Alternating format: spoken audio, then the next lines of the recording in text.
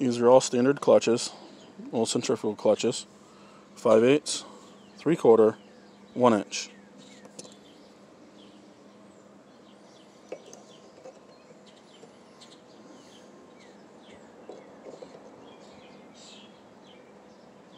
There we go.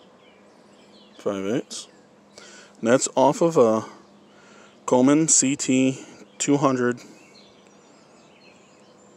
UEX. It's off of the Hisun engine.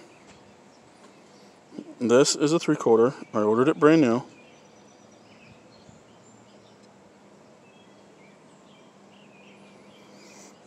And this is a one inch. Also ordered brand new.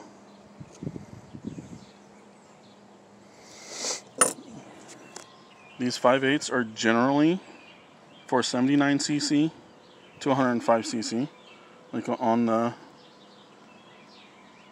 little Doodlebug 30s in those engines, and on little kids' go karts. And the three quarters are standard for your standard engines, which is like the 196 up to the 212 and these are just for the big blocks generally. Like the Predator 301 and the Predator 420. This also fits the GX390.